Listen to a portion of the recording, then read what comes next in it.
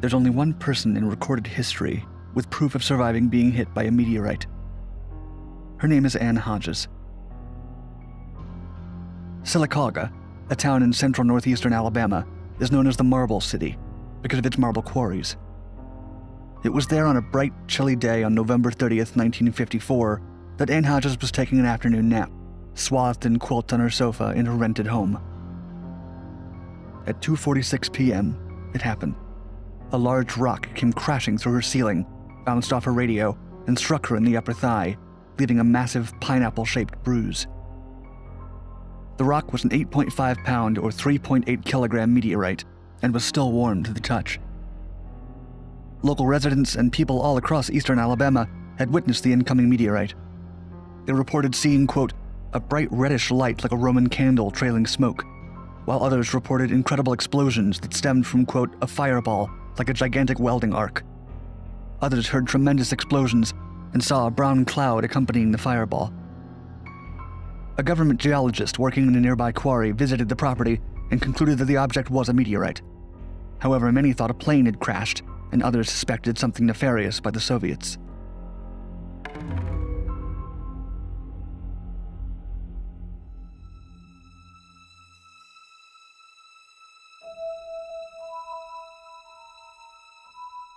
In the photo, Hodges is seen lying on a hospital bed being examined by a physician named Moody Jacobs. The doctor had just assured her that, although severely bruised and swollen, she was well and without severe injuries. The giant bruise on Ann's left side is readily apparent. The photo was taken by Jay Leviton, a freelance professional photographer based out of Atlanta, Georgia, for Time Life Publications. Leviton became famous a few years later for his photographic essay on rising rock and roll star Elvis Presley. It didn't take long for word to get out about how Hodges had been hit by what people were calling a space rock. Her home became ground zero for curious locals who wanted to catch a glimpse of her large bruise and the meteorite that caused it.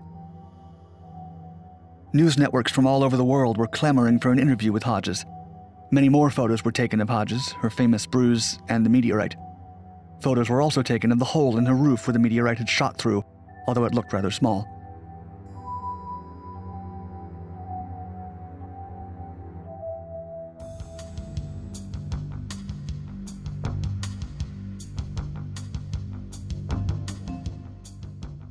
Government had a particularly keen interest in what Hodges had experienced. The US military suspected that the meteorite might have actually been a chunk of a secret Soviet satellite, or worse, even a weapon. To her dismay, the authorities confiscated the rock.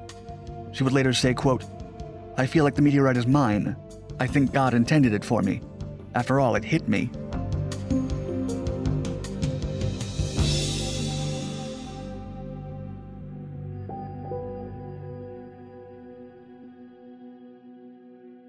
A few days later, and a few miles away from where Hodges was struck, a local farmer named Julius McKinney was driving his mule drawn wagon when a strange rock in the road caught his attention.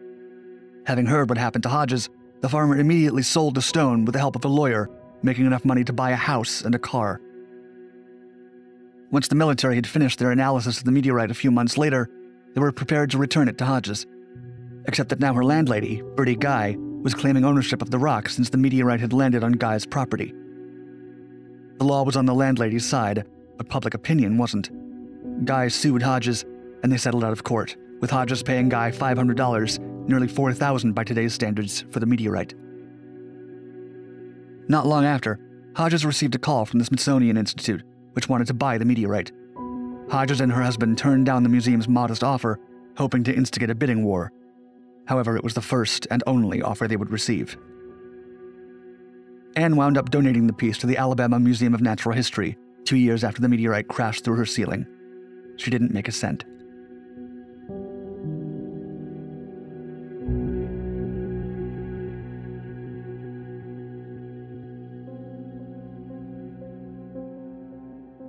Ann suffered a prolonged nervous breakdown after all the commotion had passed and had to be hospitalized. Her marriage ended in divorce in 1964.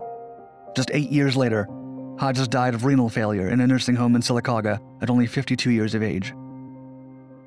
Her ex husband Eugene would later suspect that the meteorite and frenzy that ensued had taken their toll on Ann. According to the museum, Eugene said she never did recover from the event.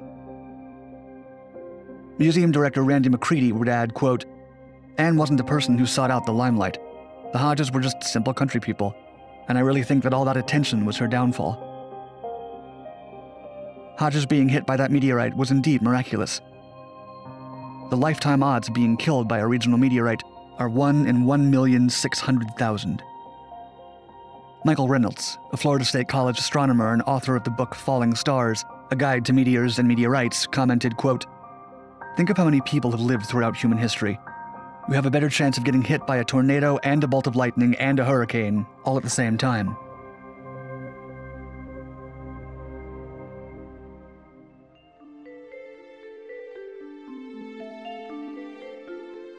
In 2017, a 10.3 gram piece of the same meteorite that struck Hodges was sold at auction in Christie's in New York for $7,500, more than 18.5 times the price of gold.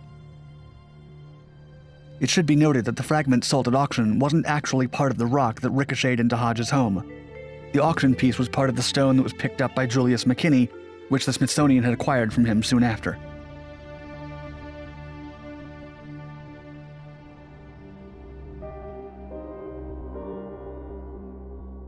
Years later, the house where Ann was hit by the meteorite caught fire and was later demolished. Today, a historical marker stands in Oak Grove near the spot of the Hodges house on the old Birmingham Highway, and the Hodges meteorite is on display at the University of Alabama.